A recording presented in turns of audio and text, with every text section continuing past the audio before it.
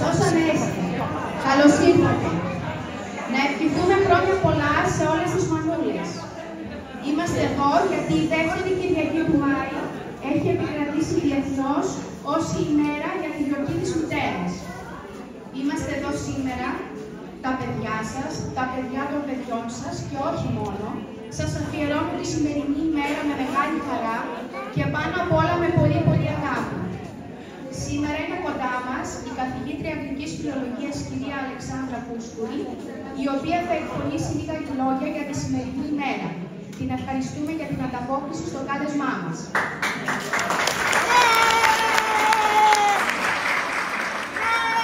Επίσης, η χοροδία γυναικών του συλλόγου μας θα σας τραγουδήσει τραγούδια αφιερωμένα στη μητέρα και τα παιδιά του συλλόγου θα σας πούν ποιηματάκια. Ποιηματάκια αφιερωμένα με πολύ αγάπη σε εσάς.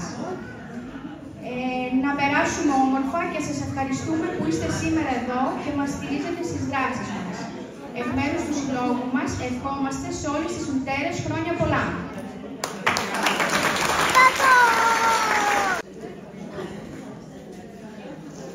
Τη στιγμή που γεννιέται ένα παιδί, γεννιέται επίσης και η μητέρα. Δεν υπήρχε πριν. Η γυναίκα υπήρχε, αλλά ποτέ η μητέρα. Η μητέρα είναι μια νέα ύπαρξη. Αυτά μας λέει ο Όσο, σύγχρονος στοχαστής και φιλόσοφος.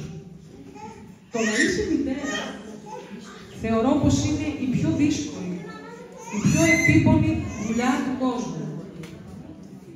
Πρώτον, όταν γίνεσαι μητέρα, πάβεις να είσαι μόνη στη σκέψη σου, αλλά πρέπει πάντα να σκέφτεσαι διπλά.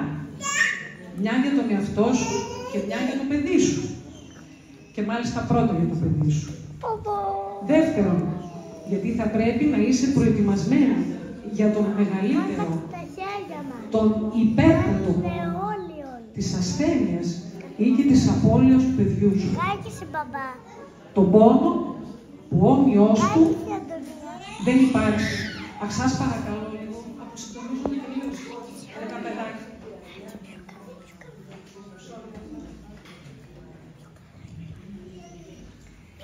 Το πόνο που όμοιος του δεν υπάρχει σε ολόκληρη την ιστορία της ανθρωπότητας. Της μάνας που βλέπει το μονάκριβο γιο της να πονάει, να ματώνει, να υποφέρει και να αφήνει την τελευταία του πνοή πάνω στο σταυρό. Η Παναγία. Η Παναγία υπήρξε πάντα η πανανθρώπινη μητέρα. Η υπέρτατη έκφραση μητρικής αγάπης και εγκαρτέρησης. Όλοι μας, μικροί και μεγάλοι, στις δύσκολες στιγμές μας, ζητάμε από την Παναγιά να μας συντρέξει, να μας λυπηθεί, να μας δώσει δύναμη και υπομονή για να μπορέσουμε να αντέξουμε τον πόνο, την αρρώστια, την πείνα, την κακουχία. Το αρχέτυπο της μάνας που από ένστικτο τρέφει, φροντίζει, βοηθά και καθοδηγεί τα παιδιά της, είναι γερά στερεωμένος στις συνειδήσεις όλων μας και ισχύει όχι μόνο για τους ανθρώπους, αλλά και για τα ζώα. Έχουμε απίστευτα παραδείγματα θηλαστικών που φτάνουν σε σημείο να θυσιάζονται για να ζήσουν τα μικρά τους. Αυτό το είδος μάνας είναι νομίζω το επικρατέστερο. Η δοτική, προστατευτική, στοργική, η υποχωρητική μητέρα που φροντίζει για όλους μέσα στην οικογένεια. Λειτουργεί ως καταλήτης στις συγκρούσεις που τυχόν προκύπτουν μεταξύ των μελών της. Εργάζεται για να συνεισφέρει στα οικονομικά του σπιτιού. Μητέρα που έφυγε. Πολλοί την έχουν δίπλα τους, άλλοι την έχουν χάσει. Όμως κανείς δεν πρόκειται ποτέ του να ξεχάσει τη μάνα που τον γέννησε, την όμορφη του μάνα, που όλα τα δίνει στο παιδί δίχως να θέλει πράγμα. Ένα μεγάλο ευχαριστώ σήμερα να τις πούμε, γιατί για αυτό που είμαστε σε εκείνη το προσκούμε.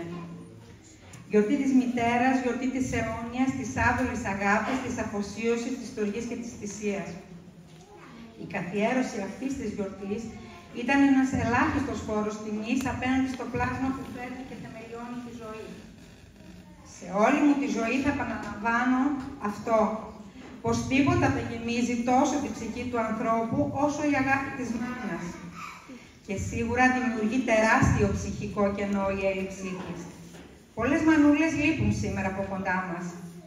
Και ας έχουν περάσει χρόνια, οι αναμνήσεις των σχέσεών μας με εκείνη, τη μαμά μας, τη μητέρα μας, εξακολουθούν να είναι πολύ έντονες Εκείνο που δεν μπορούμε να συνειδητοποιήσουμε είναι ότι την έχουμε χάσει. Πάντα πιστεύουμε πως κάπου κοντά μας υπάρχει και κάπου θα την αντικρίσουμε.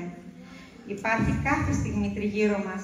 Γίνεται η τρυφερή σκιά που μας ακολουθεί μέχρι το τέρμα του ταξιδιού της ζωής μας.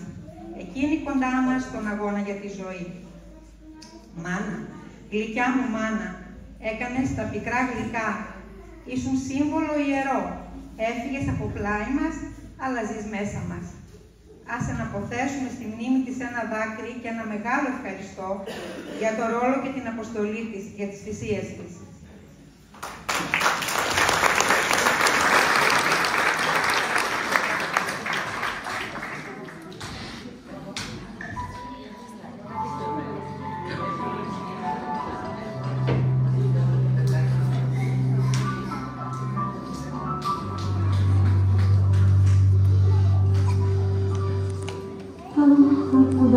Αφιερωμένος σε όλες τις μαμάδες είναι από την Τάνια Τσανακλείδου το «Μαμά γυρνάω».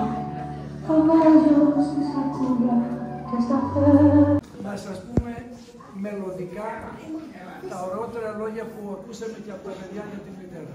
Σας ευχαριστώ πολύ.